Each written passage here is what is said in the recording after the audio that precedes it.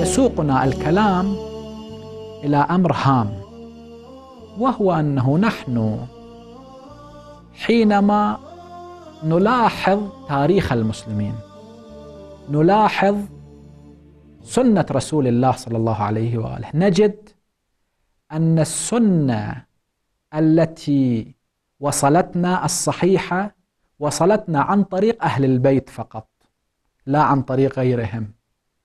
ولذا كما ذكرنا في إحدى الحلقات ولذا رسول الله صلى الله عليه وآله ماذا قال؟ قال إني تارك فيكم الثقلين كتاب الله وعترتي أهل بيتي. الرسول ترك فينا شيئين كتاب الله وعترتي أهل بيتي.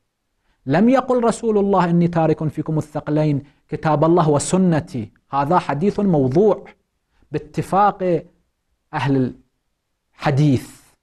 وأنا أتساءل الآن من المشاهدين كم منكم سمع هذا الحديث كتاب الله وعترتي مع أن هذا الحديث كتاب الله وعترتي متواتر.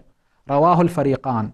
وأهل السنة في صحاحهم الست ست مرات هذا الحديث كرر وذكر.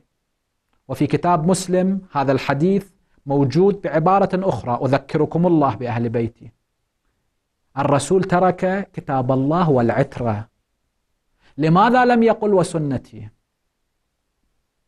لماذا؟ لأن السنة حفظت عن طريق العترة.